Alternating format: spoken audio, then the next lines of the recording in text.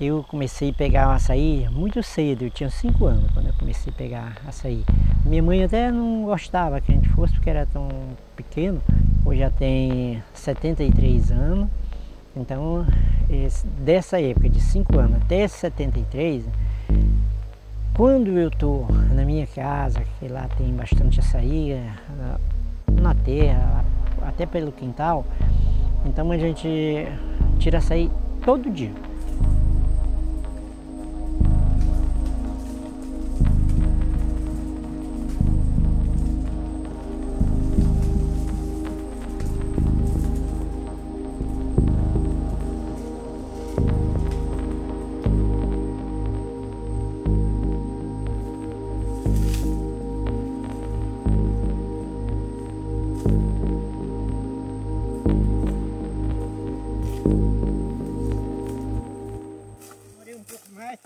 Quatro cachos.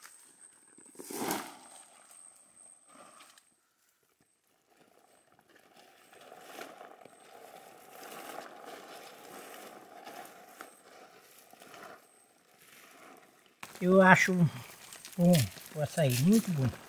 Mas ele tem que estar tá novo. Eu tiro hoje.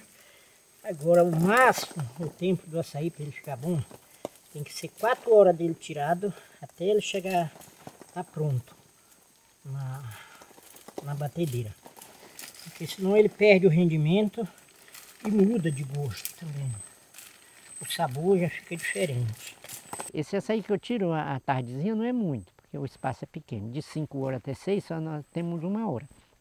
Mas eu tiro açaí que ainda dá para a gente preparar 10, 12, até 15 litros. Então 15 litros dá para comer muito dia. Agora para mim não serve porque eu só gosto de tirar do hoje e comido hoje. Então a minha açaí eu como de manhã, meio-dia e de noite. Esse está pronto, agora vamos tirar mais.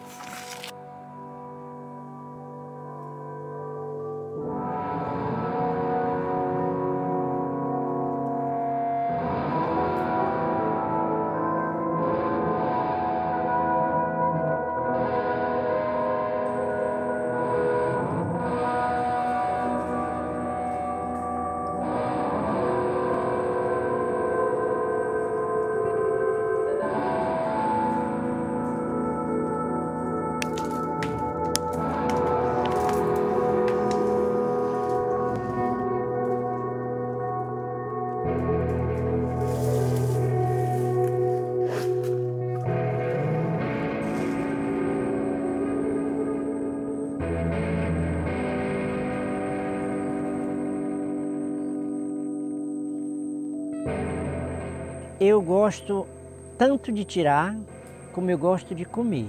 Porque no brejo, em qualquer brejo que eu for tirar açaí, e eu não tirar, não cresce outro ir não. Até agora nunca foi outra pessoa para tirar não. É, é uma coisa que a gente faz com segurança e perfeição. Esse caso para mim não me faz medo e eu digo para qualquer um.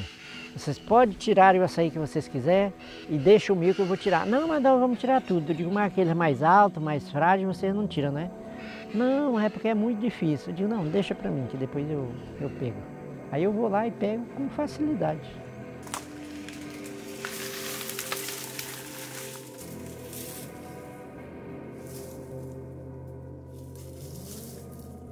É bom fazer isso. Com esses anos que eu tenho, eu nunca cheguei um dia em casa para dizer assim, ah, eu estou cansado, estou muito cansado. Não. Toda vida eu tenho disposição, tenho coragem, tenho agilidade.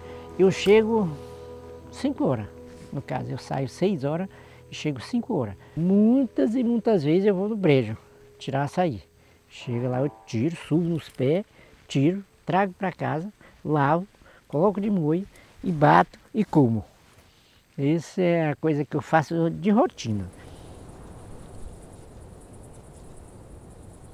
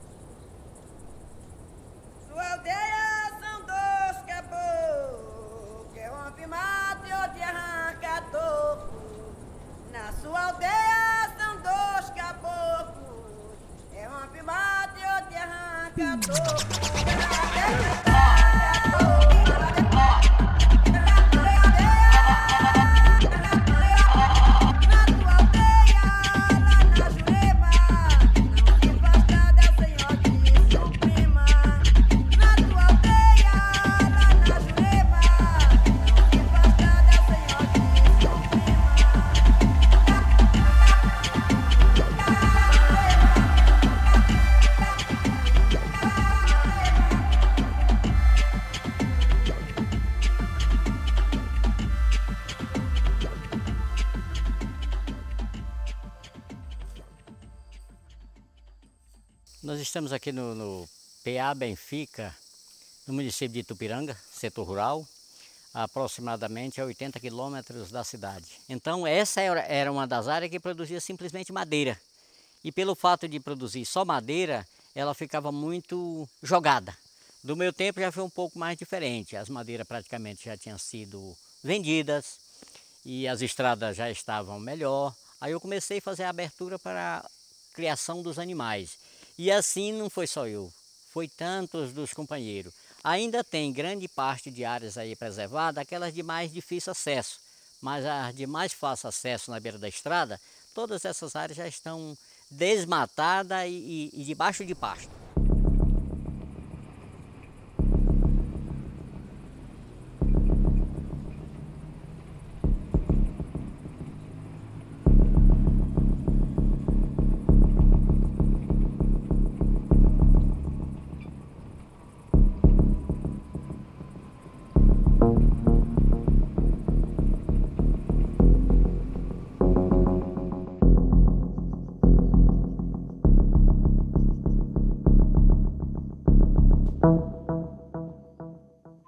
Boa parte, principalmente aqueles que chegaram primeiro, eles viviam mais da, da própria floresta, no sentido de, de vender madeiras, no sentido até de pescar, caçar. E aqui nós temos uma, uma variedade muito grande que se usa para tudo. Começando do, da construção das cercas, teto de casa, é, alimentação de modo geral, que se produz muito também aqui na floresta. Temos o açaí, que hoje é um, um centro, além de, de comercial, traz um, um rendimento, é um excelente alimento. Temos abacaba, nós temos o bacupari, é, se, se usa também palmito das, do babaçu. E são, são coisas que trazem muito rendimento, tanto financeiro quanto para alimentação no dia a dia. Então a, a floresta de modo geral ela é muito completa desse tipo de, de alimentos. Agora, basta que você saiba preservar, conservar e utilizar. Porque se você não sabe utilizar, às vezes você está até é, debaixo das plantas que serve para muitas coisas, mas você não sabe utilizar, termina não dando o valor que realmente a planta precisa e tem a oferecer. Eu conheço aqui áreas que tinham grandes açaizal em fazenda, né? Tinha grandes açaizal.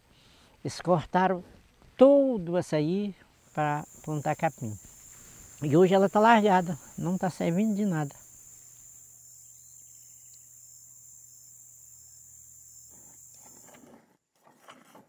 O meu pasto é mais importante que a mata para mim. Porque é do pasto que eu vou tirar a renda, sustento para minha casa. A mata, se ela está dando algum lucro, eu não estou vendo não. Ó, eu, essa mata aqui, eu acho ela muito bonita. A realidade é muito bonita. E aí é, tem muitas árvores aí, que, animais, tanto que ontem mesmo, hoje, de madrugada, eu, eu escutei a onça esturrando aí dentro. Então ela está preservada, está como Deus fez, está do mesmo jeito. Eu nunca mexi em nada. Só quero tirar assim, algumas árvores que, que caiu, morreu, aí eu quero tirar, que ela não vai ter mais aproveite mesmo, já está morta. Mas eu quero deixar ela aí, até quando eu puder aguentar. Eu quero deixar ela em pé. Mas também o problema é que nós temos que pensar também na nossa família. Primeiro nossa família. Aí, se nós temos um alimento, se nós estamos tá tendo um alimento, a nossa mata está dando renda para nós, claro que eu não vou desmatar ela nunca. Mas a mata é muito bonita, mas não está me dando resultado. Isso aí é todo mundo aqui. Eu tenho mata e tenho, e tenho pasto eu, fosse vender e embolar tudo pelo um valor só. Mas só a pura mata, o valor é diferente. Tanto que um vizinho meu comprou 100 alqueiros de terra por 100 mil reais. Saiu o quê? Saiu a mil reais um alqueiro. Não tem valor. E para você desmatar e formar um pasto, fica caro demais. É por isso que, que a mata não tem tanto valor.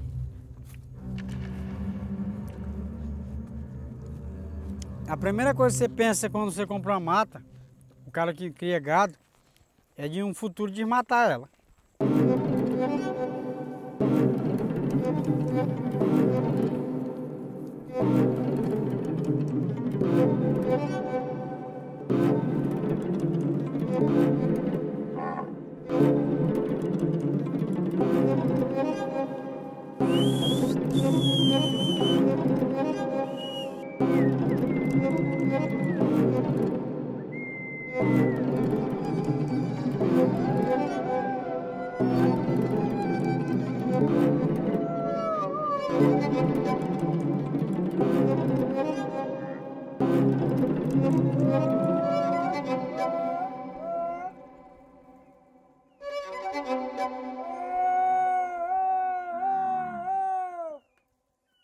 Aqui as coisas de mais rendimento são o gado e o açaí. E eu até digo que quem tem muito açaí e pouco gado, como os colões, ele se pudesse plantar a área dele de açaí, era melhor ele plantar de açaí na área do que criar gado, porque para criar gado você vai precisar de uma terra grande. E os agricultores não podem ter essa área grande. Quando eles ganham do INCRA, quando muito, é 10 alqueiros, são 50 hectares.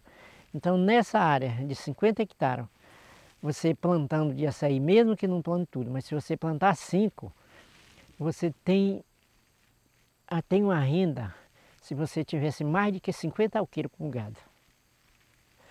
Quando a gente deixa aqueles baixio, hoje como está deixando, aqueles baixio de açaí, então já fica muitos bichos. Macaco, guariba, o tamanduá bandeira, anta. O que sempre vai embora, não quer ficar em área pequena, é o porcão. Já o caetitu fica em áreas pequenas. É um tipo de porco também. A anta fica também. A paca, tatu, cutia, esses ficam em área pequena. Mas é mais fácil ainda para o pessoal matar, porque a área é reduzida, em qualquer lugar que eles entrarem já estão saindo em cima deles e matando. Isso é um desperdício muito grande.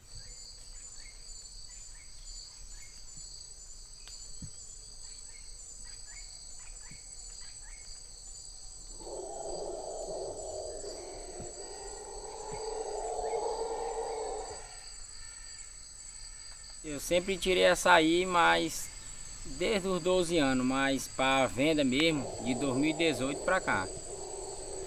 E aí o açaí é o que tá me sustentando hoje, né?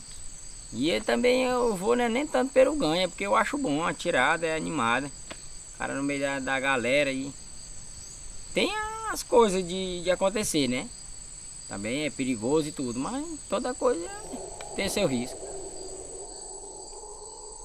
Rapaz, açaí é bom demais, ó. Se tiver uma farinhazinha, uma granola, hum, geladinha é da hora, ó. E tem que ser todo dia, de manhã, meio-dia, de tarde, na hora que der vontade. Açaí é bom demais. Eu, as Maria, pra mim não tem cor melhor não. Tem muita coisa aqui para comer. Tem cuscuz, tem beiju, tem bolo. Tem banana. Tem açaí. Esse ano está sendo o primeiro ano que eu estou tirando açaí. E ano passado eu tirava mais só para comer, pra... Tinha umas vezes que eu vendia, mas não era muito assim de venda. Tá? E aí quando eu não, não tô aqui na, no período da safra do açaí, eu vou para a cidade, caçar uma firma para fechar, trabalhar de carteira assinada. Aí quando começa o período do açaí, eu venho para cá de novo tirar açaí. E eu gosto desse negócio de tirar açaí, é bom. Pra mim é uma terapia bacana, é da hora mesmo. Subir e descer naqueles pés de açaí escorregando a bunda é bom demais. Aí, macaqueando. uh! É uns três meses a tirada. Aqui mesmo começa no mês de maio. Aí conforme o açaí vai amadurecendo, os compradores vão descendo aí nas outras cidades, né? E aí nós começa só no outro ano de novo.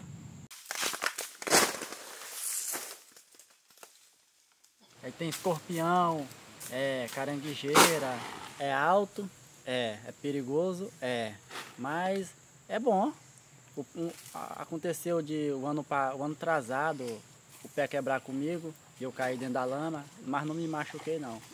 Esse ano também o pé quebrou comigo, mas também não me machuquei não, fiquei de pendurado pelo cipó. A gente tá subindo, chega lá em cima, o pé faz assim, tom! Aí as paias fazem, uh, aquilo é bom demais. Aí na hora que bate no chão, bé, chega a gente fica atolado até assim na lama. É bom, ó. É uma aventura doida. Já aconteceu do pé também arrancar da, da torceira que ele tava e pendurar no outro. Assim, eu não me machuquei não, né? Mas o susto é grande. O que me dá mais medo é quando eu chego lá em cima tem alguma coisa, tipo cobra. Meu maior medo no açaí é cobra. Um tempo eu fui subir no pé açaí, eu topei com uma jiboia no, no, nos cachos. Não, eu acho que todo dia é quase a mesma coisa. Aquele mesmo, a mesma rotina. O cara vai, faz a tirada, carrega e traz. A única coisa que pode acontecer fora do normal é quando acontece da, da moto quebrar ou um pé quebrar mesmo. Pessoa subindo. E fora isso, os bichos do mato que, que a gente vê, a gente vê quase todos os dias, os mesminhos. A gente tem só cuidado, né?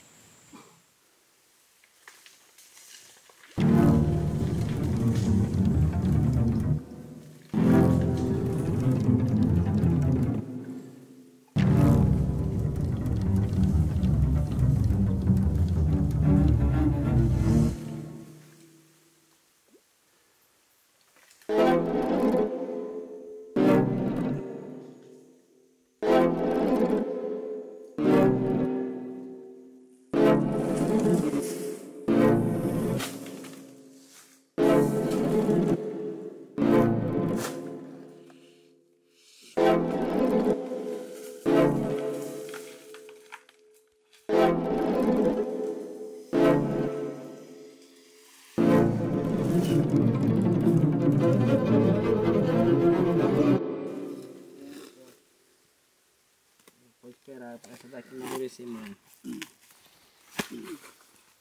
O bicho era pra levantar, mano. Só levantava aqui atrás de lá.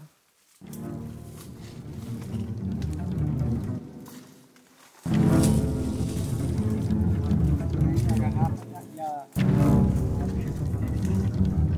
Fazer na frente.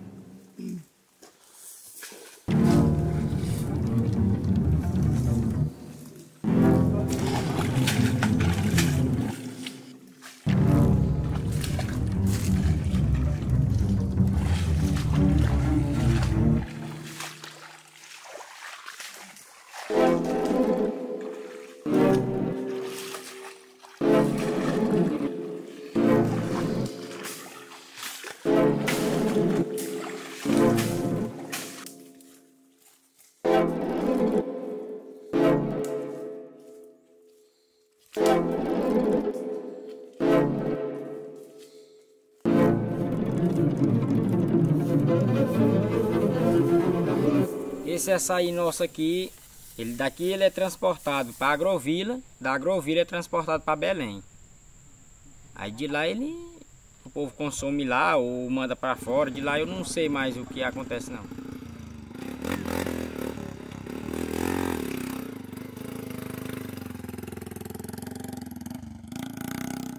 Aqui o caminhão costuma chegar, hora dessa assim ele já era para estar aqui, mas como tem um, uma carreta atravessada aí na estrada em certo lugar, aí não deu para chegar ainda, mas daqui a pouco ele chega aí, aí a gente mede o açaí, ele paga a gente, aí vai embora.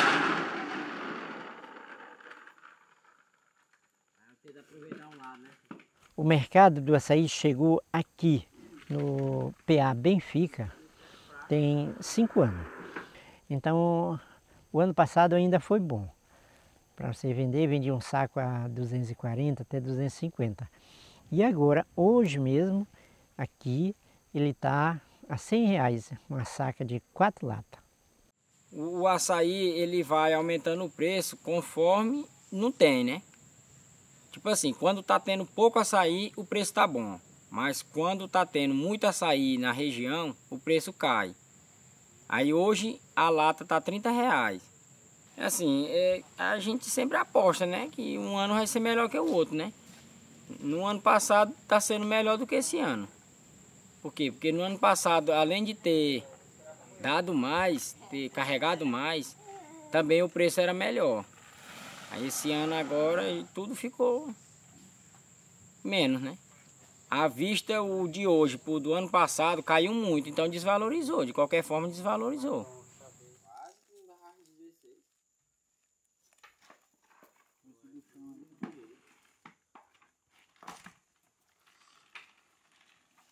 Uma diária de serviço, qualquer, roçando, fazendo cera, qualquer uma coisa, é de 70 reais. E você tirando o açaí, você ganha 150, ganha 200, ganha 250 por dia. Antes da, de chegar ao mercado do açaí, eu via o açaí aqui como um desperdício, porque tinha muito, e a gente sabe que o açaí é muito bom, mas não tinha mercado de jeito nenhum. Se o mercado do açaí tivesse chegado antes, pelo menos 20 anos atrás, muitas pessoas, até os fazendeiros, quase todo mundo tinha conservado o seu açaí. Então, e aí você não estava gastando nada, só o tempo de você pegar ele e vender.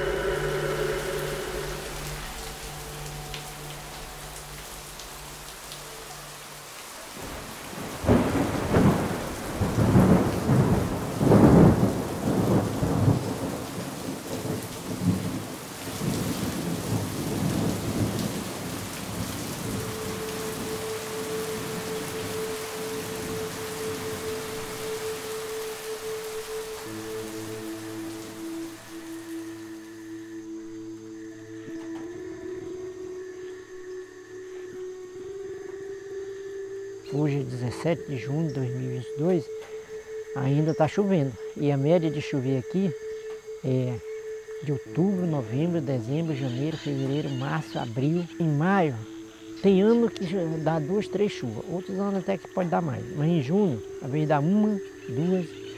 E esse ano tá, já deu muitas. Parece que é, nós estamos no inverno mesmo, em janeiro. Então essa mudança que está tendo agora, todo mundo está ficando tá impressionado. A mudança do vento de certo tempo para cá mudou. Ela era mais de do leste ao oeste. Agora ela está um pouco mais para o sul. E não é desse ano, já tem uns 3, 4 anos que ela fez isso. Até a gente, quando começou, a gente achou muito estranho. O vento não era nesse rumo, ele vem sendo mais forte, cada ano mais forte. Eu até quero dizer que é por causa que abriram quase tudo, as matas nessa região quase não tem. Então a mata impede muito o vento de passar com velocidade. Mas como não tem, ela passa por cima das derribadas, dos pastos aí, com toda a força, porque não tem nada para amparar ela. Isso é uma coisa alarmante para nós que conhecemos a realidade. E porque se não entrar um presidente que possa conhecer, enxergar essa realidade, daqui a pouco até nós aqui estamos sofrendo por falta de floresta. Não só pela madeira, mas por tudo, cara, tudo que a floresta nos dá.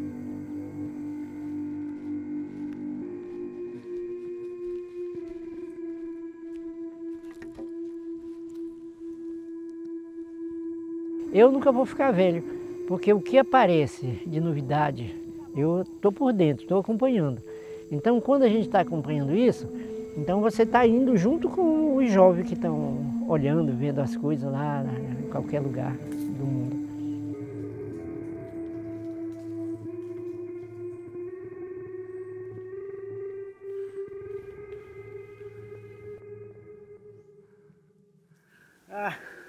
tô tirando o açaí, mas ainda não tá bem maduro. Tá paral. Então o açaí paral, ele não rende, não fica gostoso. E aí a gente sempre tira pouco. Tira só um pouquinho para bater e tomar logo. E espera ele amadurecer mais.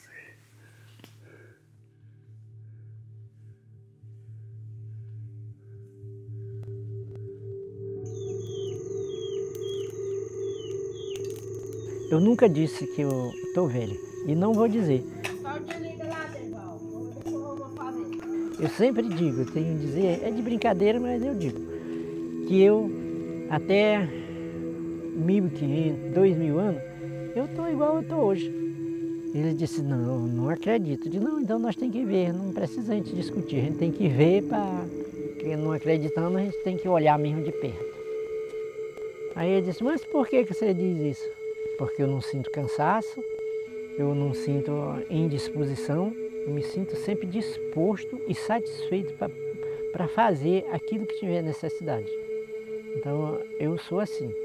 E então eu espero que todos vocês que estão jovens tenham um pensativo, um pensamento assim, de todo tempo estar forte, estar elegante para fazer o que aparecer.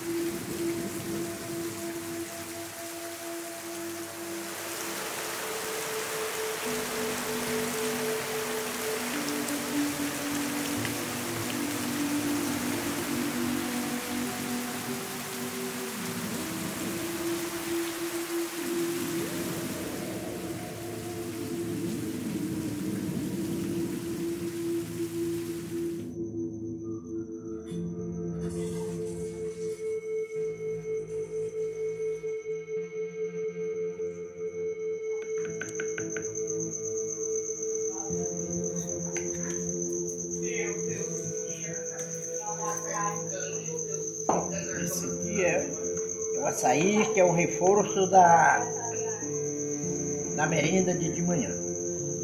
Então a gente toma um açaí, hoje eu tenho 730 anos, então já tem 50 anos que eu tomo açaí de manhã, com limão e um pouquinho de, de açúcar ou rapadura. Coloca